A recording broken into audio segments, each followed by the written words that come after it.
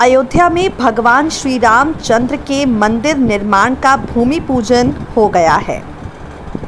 इस भूमि पूजन से ठीक पहले सोमवार को उनके पुत्र महाराज कुश की जयंती रही।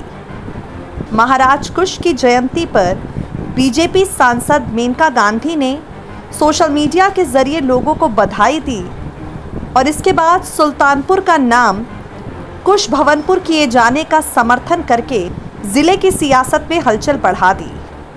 सुल्तानपुर का नाम बदले जाने के लिए सूबे के तत्कालीन राज्यपाल राम नाइक से लेकर ज़िले की लंबुआ सीट से बीजेपी विधायक देवमणि दुबे तक मुख्यमंत्री को पत्र लिख चुके हैं। सांसद मेनका गांधी ने 30 अगस्त को श्रावण पूर्णिमा के शुभ अवसर पर वीडियो के माध्यम से संदेश भेजा।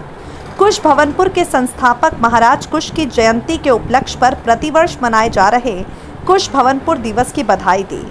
सांसद के मीडिया प्रभारी विजय सिंह रघुवंशी ने बताया, पूर्व केंद्रीय मंत्री व सांसद मेनका गांधी कुश भवनपुर उत्थान सेवा समिति द्वारा उठाए जा रहे सुल्तानपुर ज़िले के पुनः कुश भवनपुर नामकरण की मांग का समर्थन कर रही हैं।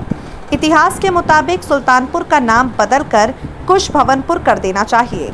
आपको बता दें, मार्च 2019 में तत्कालीन राज्यपाल ने सीएम को चिट्ठी लिखी थी। इससे पहले 28 मार्च 2019 को तत्कालीन राज्यपाल राम नाइक ने सीएम योगी आदित्यनाथ को चिट्ठी लिखकर ऐसा ही ज़िक्र किया था अपनी मांग में। अब इन सब के बीच में मेनका गांधी पर लोग सवालिया निशान भी खड़े करने लगे हैं। लंबुआ से बीजेपी विधायक देवमणि दुबे नियम 311 के तहत सदन में इस विषय पर चर्चा का प्रस्ताव पूर्व में ला चुके हैं।